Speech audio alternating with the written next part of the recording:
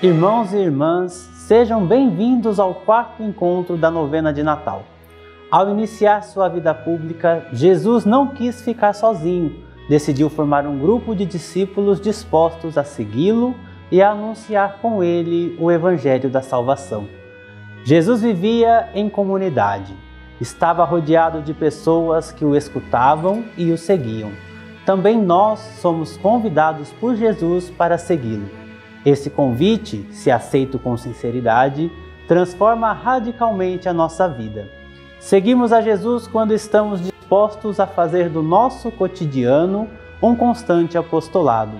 Seguimos a Jesus quando, em todas as situações do nosso dia, voltamos o nosso pensamento ao céu e nos perguntamos: o que Jesus faria em meu lugar?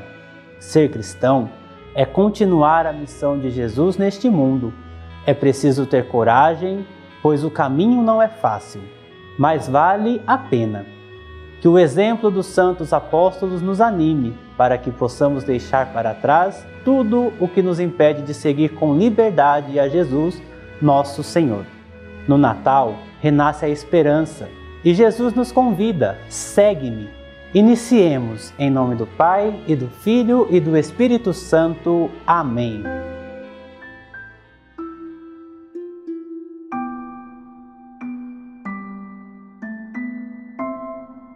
Ó Deus, Pai de misericórdia, aqui estamos reunidos com alegria e esperança, preparando o nosso coração para o nascimento de Jesus, vosso Filho. Ele vem ao nosso encontro para manifestar o vosso amor, curar as nossas enfermidades, perdoar os nossos pecados e nos indicar o caminho da salvação. Derramai sobre todos nós a vossa graça, para que, ouvindo e meditando vossa palavra, possamos sentir a presença de Jesus em nosso meio. Isso vos pedimos pela intercessão de Maria e de São José. Amém.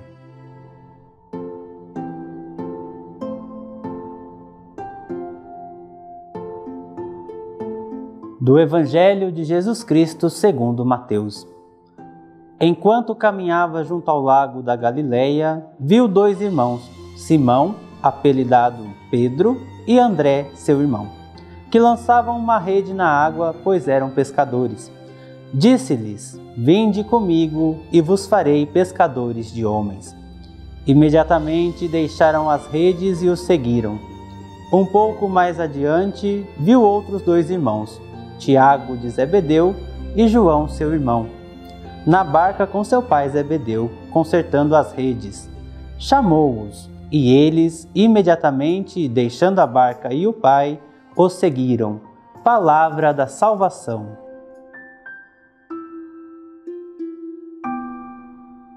Os fundadores de institutos religiosos nunca estão sozinhos para realizar os seus ideais.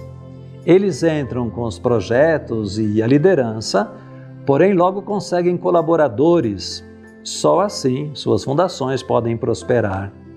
São Felipe Neri, por exemplo, conhecido como Santo da Alegria, viveu de 1515 a 1595 foi padre e fez excelente missão pelas ruas de Roma. Depois fundou o Divino Oratório, onde ele reunia não só os pobres, mas também os jovens de famílias ricas e até filhos de príncipes. Os oratórios, com o passar do tempo, se multiplicaram, formando grande número de cidadãos para o mundo.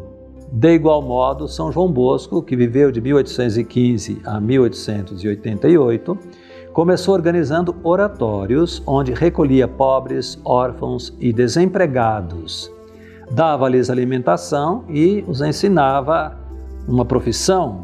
Assim começou a sua obra que cresceu e hoje atinge o mundo inteiro. Trata-se da família salesiana de Dom Bosco. O beato Tiago Alberione, por sua vez, fundou em 1914 a Escola Tipográfica Pequeno Operário, na qual recebia meninos em regime de internato e os ensinava a trabalhar na tipografia, para no futuro serem apóstolos da comunicação social. Foram os primeiros passos de uma obra que cresceu e atinge hoje cinco continentes. É a Pia Sociedade de São Paulo, Padres e Irmãos Paulinos, cuja logomarca Paulus aparece estampada em todas as suas iniciativas: editora, livrarias, faculdade, ação social Uma pequena semente, regada pela graça de Deus e pelo zelo apostólico de um homem obstinado, tornou-se uma frondosa árvore promissora de abundantes frutos. Para refletir, a comunidade cristã só pode prosperar se houver a colaboração de seus membros. Qual é o grau de nossa participação para o seu crescimento? Quais são as pastorais vivas e atuantes na sua comunidade? De qual delas você faz parte?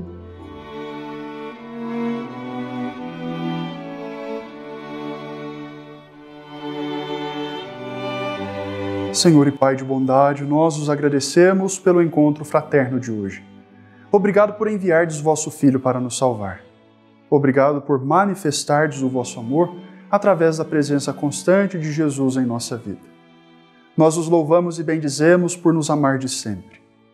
Perdão, Senhor, pelas vezes que não somos capazes de testemunhar a vossa infinita misericórdia. Que a preparação para o Natal de Jesus renove o nosso compromisso de amor e caridade. Abençoai as nossas famílias, nossa comunidade paroquial, nossas pastorais e toda a igreja. Dai-nos sempre paz, saúde e felicidade. Amém. O Senhor esteja convosco, Ele está no meio de nós. O Senhor nos abençoe e nos guarde, Ele nos mostre sua face e se compadeça de nós. Dirija para nós o seu olhar e nos dê a sua paz. Amém. Por intercessão de Maria, Mãe de Jesus e nossa, abençoe-vos o Deus Todo-Poderoso, Pai e Filho e Espírito Santo. Amém. Que a alegria do Cristo que vem para nos salvar seja a nossa força na caminhada. Vamos em paz e o Senhor nos acompanhe. Graças a Deus.